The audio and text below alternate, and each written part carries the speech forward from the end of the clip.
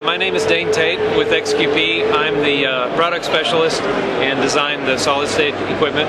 The 545 optical disrupter is an optical compressor that the, the purpose of it is to create asymmetrical distortion.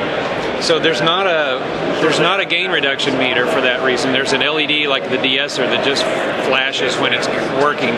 Uh, but the purpose is to listen to that distortion. I mean, that's the whole point of the thing. So the way it works is, um, you know, the side chain, it, it uh, it's just full range, but it, uh, it compresses the top half of the waveform so that you end up with this asymmetrical waveform.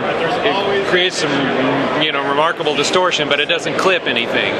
So um, it just creates the sort of second harmonic distortion.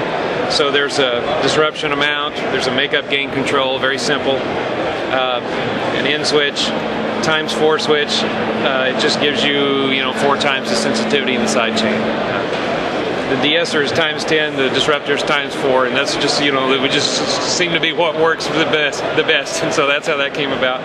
Uh, it's a very simple, it's a very simple thing. Uh, it responds mostly to low frequency content, so like if you put on a female vocal, you may not hear near as much as you would hear on a male vocal, for example.